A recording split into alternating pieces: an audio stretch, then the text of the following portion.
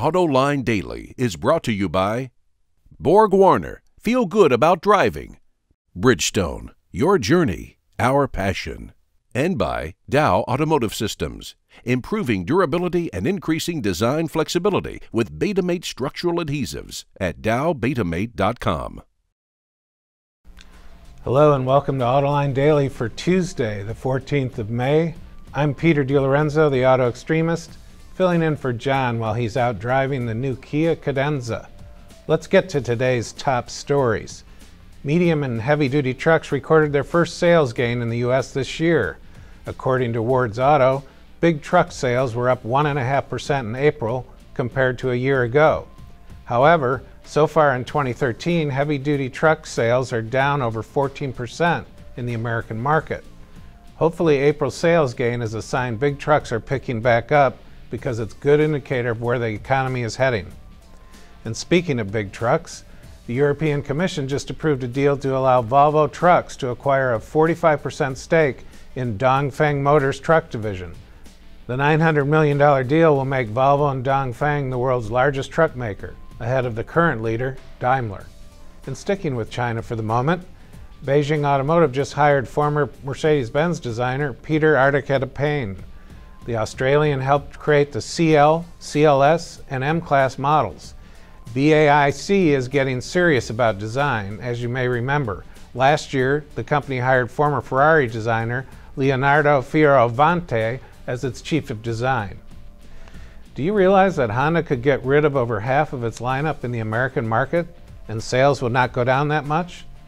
Get this, only five models account for 93% of all the sales at Honda. That includes the Accord, Civic, CRV, the Odyssey, and Pilot. Meanwhile, the Crosstour, CRZ, FCX, the Fit, Insight, and Ridgeline really don't contribute much. The FCX, which is a fuel cell car, represents really good PR, even though they've only sold two of them this year. The Fit gets lots of accolades from the enthusiast media, so I understand why they have that one too.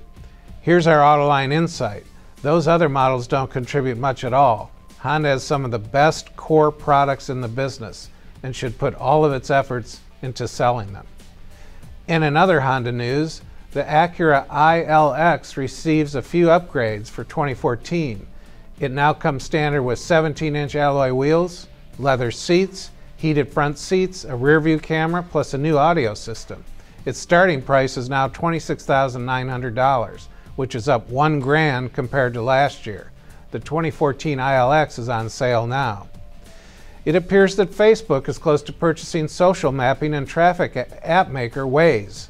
The deal will cost Facebook somewhere in the range of 800 million to 1 billion dollars for the app maker, which currently boasts over 47 million active users. Sources say the deal will happen, but there is one remaining hurdle to clear whether Waze will stay stationed in Israel or move to the US.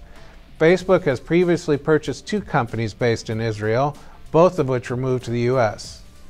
Coming up next, my thoughts on the real value of chief marketing officers.